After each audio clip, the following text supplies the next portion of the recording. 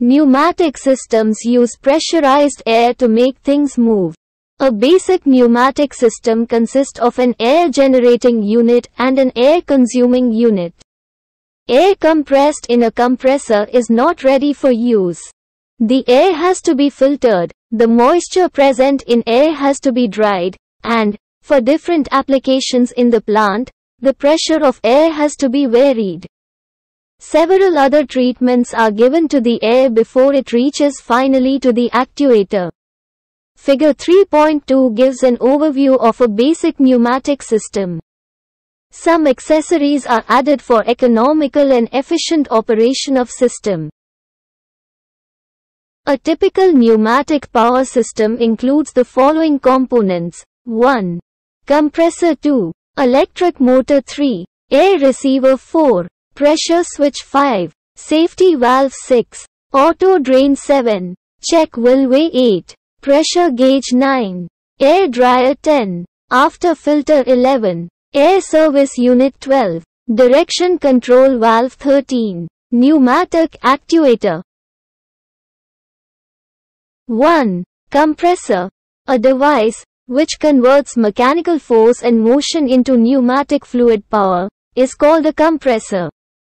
Every compressed air system begins with a compressor as it is the source of airflow for all the downstream equipment and processes. 2. Electric motor. An electric motor is used to drive the compressor. 3. Air receiver. An air receiver is a container in which air is stored under pressure. 4. Pressure switch. A pressure switch is used to maintain the required pressure in the receiver. It adjusts the high pressure limit and low pressure limit in the receiver. The compressor is automatically turned off when the pressure is about to exceed the high limit and it is also automatically turned on when the pressure is about to fall below the low limit. 5. Safety valve. The function of the safety valve is to release extra pressure if the pressure inside the receiver tends to exceed the safe pressure limit of the receiver. 6. Auto drain. Air condenses to give out water in the receiver and a device called auto drain directs this water out. 7. Check valve. The valve enables flow in one direction and blocks flow in a counter direction is called check valve. Once compressed air enters the receiver via check valve. It is not allowed to go back even when the compressor is stopped. 8. Pressure gauge. The pressure gauge tells us the pressure inside the compressor receiver.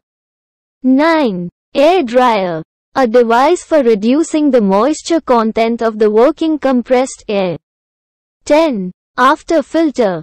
A filter that follows the compressed air dryer and usually used for the protection of downstream equipment from desiccant dust, etc., is called an after filter. The name filter refers to a device whose primary function is the removal of insoluble contaminants from a liquid or a gas with the help of porous media. 11. Air service unit, filter, regulator, and lubricator combined in one device is popularly known as an air service unit or FRL unit. Its purpose is to supply air to other successive applications in the line. It provides clean air at the required pressure with lubricant added to it to increase the life of equipment. 12. Direction Control Valve. Directional control valves are devices used to change the flow direction of fluid within a pneumatic, hydraulic circuit. They control compressed air flow to cylinders. Rotary actuators, grippers, and other mechanisms in packaging, handling, assembly, and countless other applications. These valves can be actuated either manually or electrically. 13. Pneumatic actuator. A device in which power is transferred from one pressurized medium to another without intensification. Pneumatic actuators are normally used to control processes requiring quick and accurate response, as they do not require a large amount of motive force. They may be reciprocating cylinders. rotating motors, or maybe robot end effectors. A few more components can be added to the system.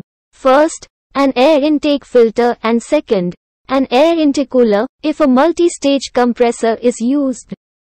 The function of the former is to prevent the entry of vast quantities of dust and dirt along with air and the latter is to cool the air again to room temperature after it is discharged from a low pressure compressor.